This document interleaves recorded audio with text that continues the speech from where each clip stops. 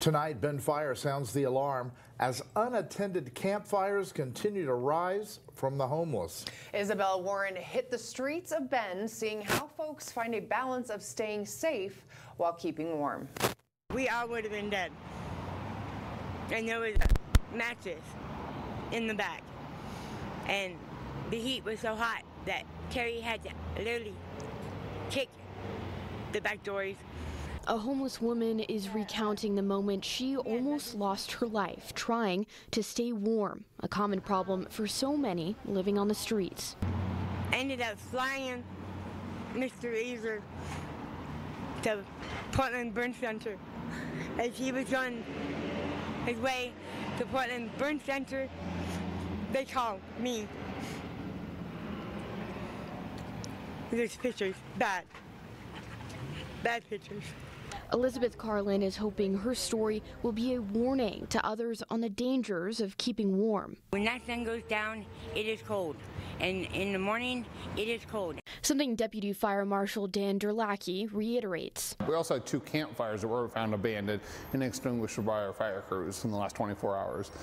All three of those had potential of, of being catastrophic. Luckily, those campfires were, were kept small and put out with one engine. Embers from campfires, high winds, and dry grass are a recipe for disaster. More than 70% of Oregon's wildfires this year are human caused. It takes minutes, maybe up to 10 minutes for us to get there. Fire's going to double in size every 30 seconds or so. Just this week, fire officials responded to multiple unattended campfires near Juniper Ridge. And last week, a homeless La Pine man was arrested for leaving a burn pit unattended. Elizabeth says her and her partner have steps in place every day to not be part of the problem. After I sweep it I, and get pine needles and pine cones and anything like that, he will actually dig a hole and then he'll build it up. Derlacki says they work with outreach programs and county sheriffs to educate homeless on defensible spaces and fire risk. Those outreach groups are going out and working with those in camps, working on preventing fires. We've seen actually seen some of our fires go down because those outreach groups are taking the information we're providing them. And if we can eliminate some of them, that's just less fires we have to deal with.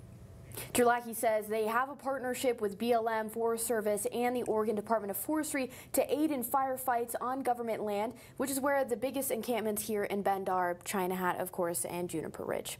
Are there rules about fires on these camps? Yeah, so campfires are banned across Deschutes County, and they do have sheriffs going out there to, you know, make sure that they know about the wildfire risks. Great. Isabella Warren, thank you.